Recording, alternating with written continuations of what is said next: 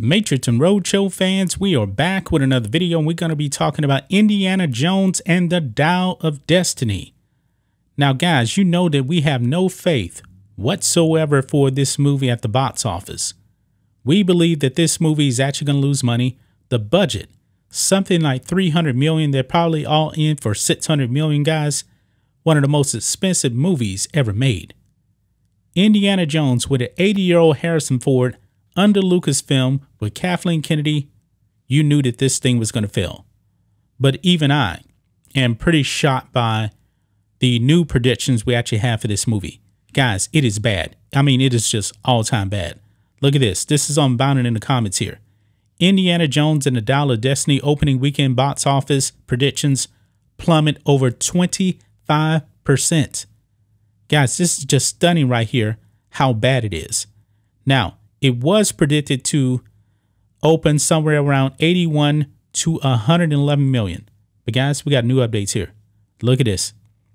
Indiana Jones 5 early tracking predicts 60 million dollar box office opening well below Crystal Skull.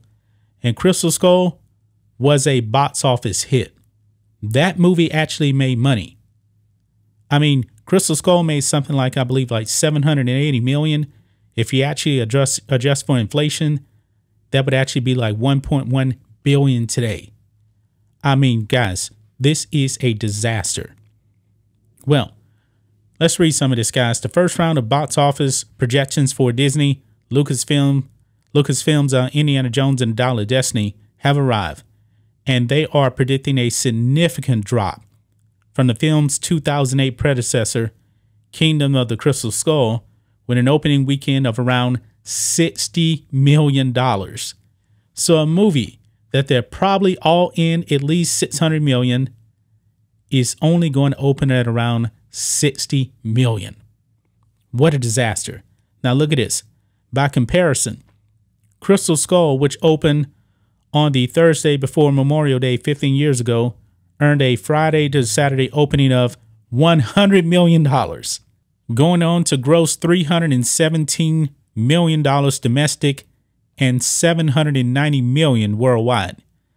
Box office analysts who spoke to the Wrap say the film's early tracking in the US is more reminiscent of James Bond film, other James Bond film, No Time to Die, which opened to 55 million in October 2021 and finished with 160 million domestic and 774 million globally.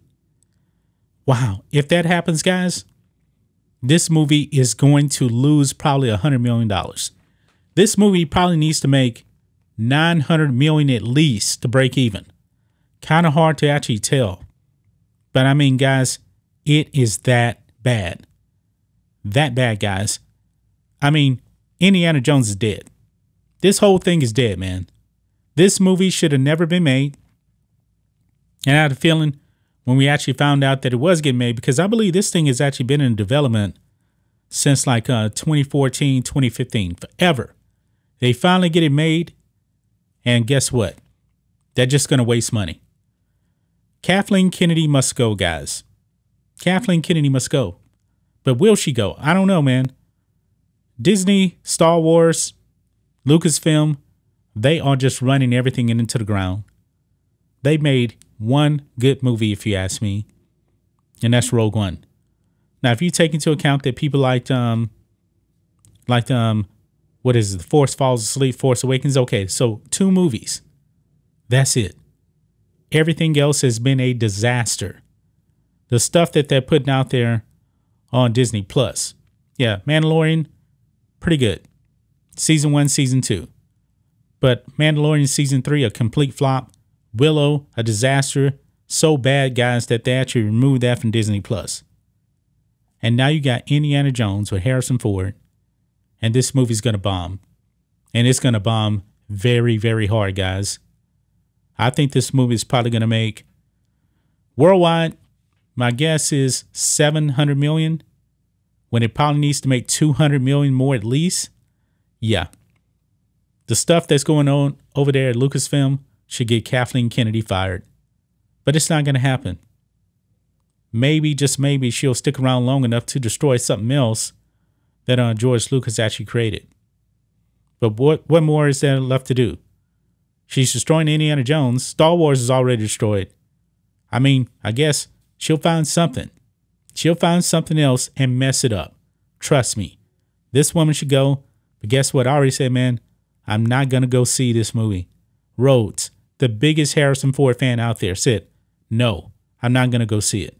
And apparently, a whole bunch of other people are going to say, no, I'm not going to see it. That is how you actually get from roughly a $90 million prediction to now a $60 million prediction. Yeah, this is awful. This is very, very bad, guys. I mean, Indiana Jones is dead. Star Wars is dead. There is no hope. George Lucas was everything to this. And now he's not around. Well, he's around, but they don't want to listen to him. They don't want to use him. And the results have been a disaster. That's just my thoughts on this. What do you guys think of this? Matrixx and Rhodes Show fans, let us know what you think about all this in the comments. Make sure to subscribe to the channel, and we'll catch you next time.